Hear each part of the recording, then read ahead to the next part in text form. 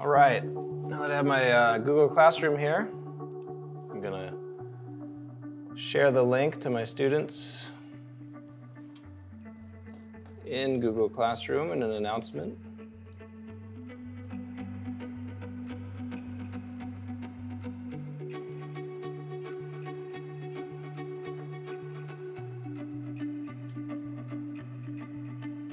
Post that so they can reach me. And I'm gonna import those slides that I downloaded.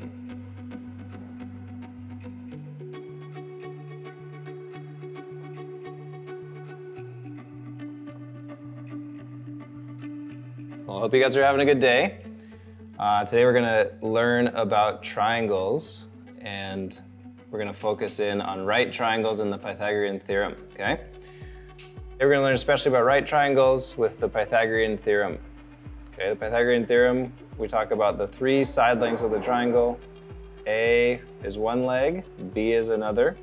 These are the two sides that make up the right angle and then C is the hypotenuse. Notice that C is always opposite from the right angle. So here are my questions for you.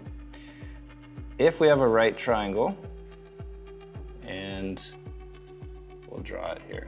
If we have right triangle looks like this, and we have uh, nine, we have 15, then what is this side length B, okay? And number two, our second question for today, is another right triangle. And here we have uh, 24, 26, and we'll call this one A, okay? You can set up your equations and solve for those missing lengths in the right triangles.